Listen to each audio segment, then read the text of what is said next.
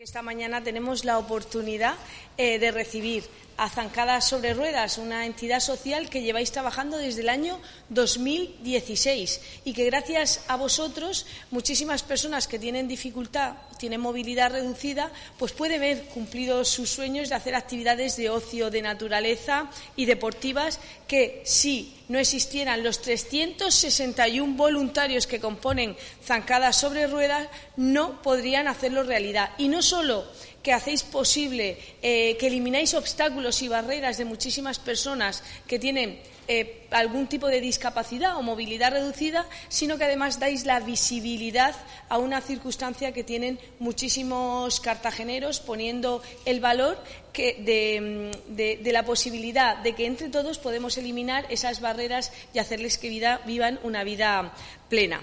Yo hoy particularmente quiero dar la enhorabuena a Zancadas sobre Ruedas, porque en un año ya habéis hecho 271 actividades. Me estabais diciendo que estáis haciendo una media de cinco actividades semanales.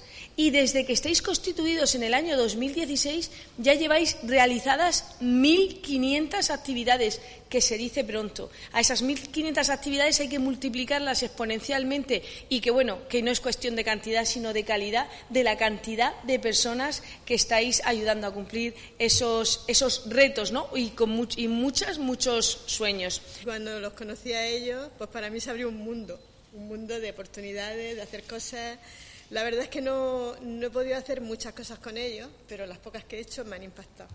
Desde subir a los volcanes, que bueno, que habían pendientes súper altísimas y lo pasamos, iba Antonio, lo pasamos, pasamos unos ratos un poco así. Eh, y luego lo de, hasta bañarme, por ejemplo, en, en Calblanque, que también me hacía mucha ilusión y yo no podía acceder tampoco, también me llevaron ellos. Y ya, bueno, lo del camino ha sido ya el Zoom, ¿no? Ha sido una experiencia, bueno, maravillosa de convivencia. Bueno, ellos son todos estupendos, son gente muy entregada.